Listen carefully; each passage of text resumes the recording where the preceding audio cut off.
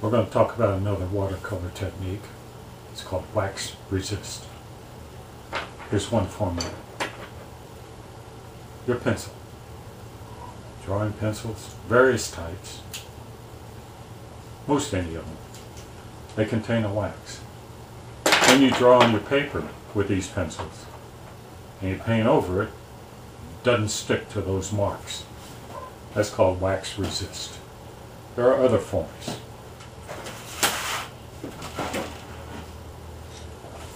Colored pencils. They contain a lot of wax. Come in various colors. You can, you can use them for various techniques in your painting.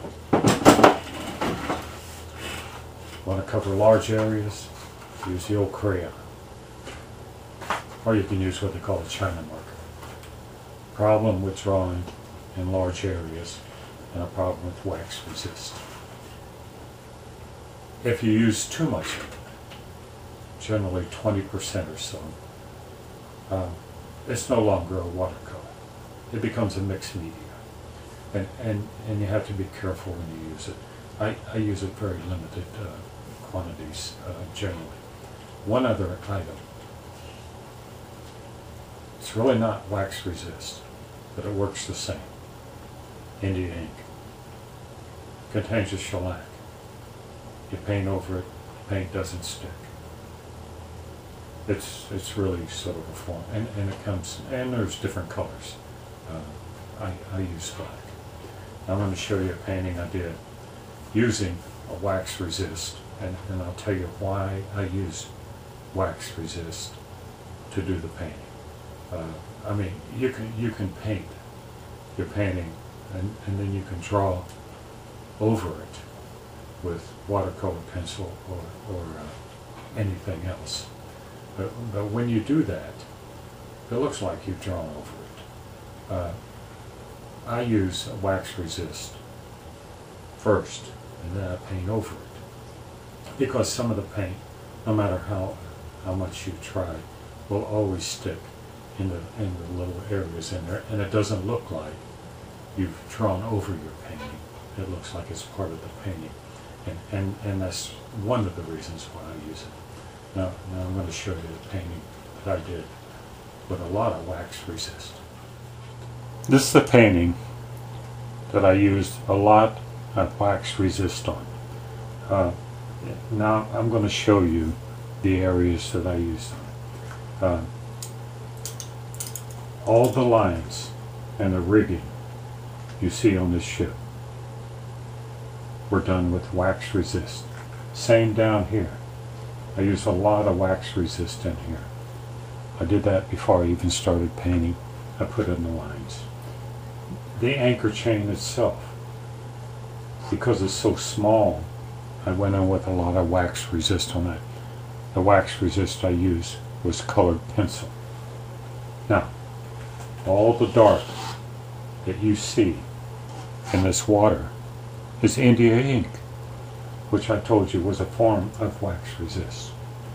Um, now you ask why I do it, or why anyone would do it. Look, these are called riggers, liners, pointers.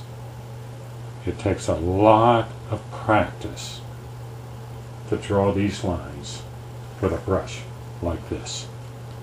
I'm not that good. It, it, it takes years of practice, as a matter of fact, to really get good at it. I use a colored pencil first to get these very fine details in here. Then I paint over it. And, and, and this is the effect you can get. And, and after I paint over it, I'll go, I'll go back in again with probably watercolor pencil and, and, and pick up little highlights here and there on it and, in the inside of these chains with a very fine point on it. I even use a little wax resist on the seagulls here too. Okay, that's why I use wax resist. Don't use a lot, but I used enough in this painting because of the India ink in here and, and, and a lot of it in here. That I had to call it a mixed media. This is really a mixed media painting, despite the wide expanse of watercolor. Uh, I felt uncomfortable calling it purely a watercolor.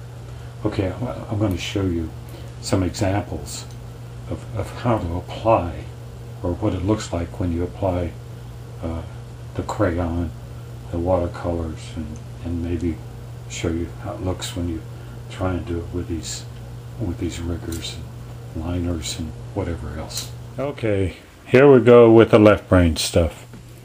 I'm going to use the three primary colors, red, yellow, and blue. Now, what we have here is a graphite line, India ink. This is colored pencil, blue. Now what you don't see is a white, black, and you got like a red color in here. Crayon, red, again what you don't see is white, blue and black. Okay, let, let's put a, a strip of red watercolor down along here. Look, look what's happening. Now I'm going to make it a little thicker. Okay. Let's let's clean it out a little bit. A little bit thicker paint. Some more. Let's see how thick we can get it. Okay. Okay, I mean this is really thick paint. Okay, you got thick, you got thin. Look at look at the white. Pretty neat, huh? Okay, red. Let's try a little yellow a little thin stuff on here first.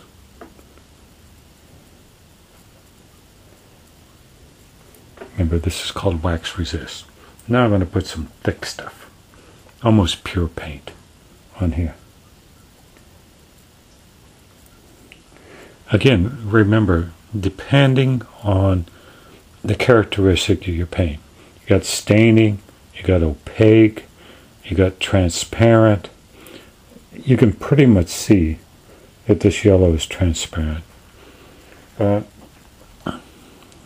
the red, that's cadmium. It's got an opaque tint about it. Okay, yeah. Okay, let's let's try the blue, which is a French ultramarine blue. We're going to lay it in then first. Very neat. Look, I like I like how that works there with the white. Now I'm going to put almost pure paint here. Let me uh, dab some of this water off. Okay. Now let's put some almost pure paint in here. Now look, this is called wax resist. I'll let this dry. Uh, isn't that great? Yeah, that ultramarine starts to granulate in there. Beautiful. I like it. Um, I'm going to let it dry. I'm going to show you what happens after it dries. What I do is once it dries, on all my paintings, when I use this technique, is I go in and lightly buff it with a paper towel to take the paint off these uh, you can see how, how it works with the darks and the lights and the in-betweens and stuff. Okay. Uh, we'll just stop and then we'll finish this up with a little light buffing after it dries. Okay, it's dried. I want to show you the last technique I use. I come in with a paper towel and I gently buff the area and and really what that does it just takes off a lot of the excess stuff um, I put down the wax resist very very heavily. Touch is important when you do this. Remember now this is graphite.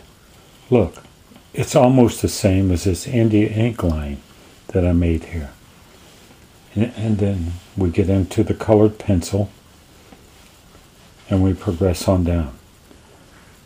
You still have to consider whether you're paint is going to be opaque or transparent. Uh, the staining aspect doesn't really matter at this point. Cadmium red, this one here, is pretty opaque, and you can see why I put a lot of paint in here. That covers up a lot of this wax, wax resist, and how where there's a lot of water, it, it doesn't do it as much.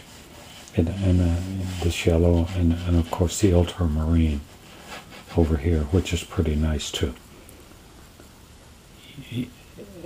If you're going to use it a lot, it's not going to be a watercolor painting. Use it as you have to. It's a good technique. Remember now, this is just graphite pencil.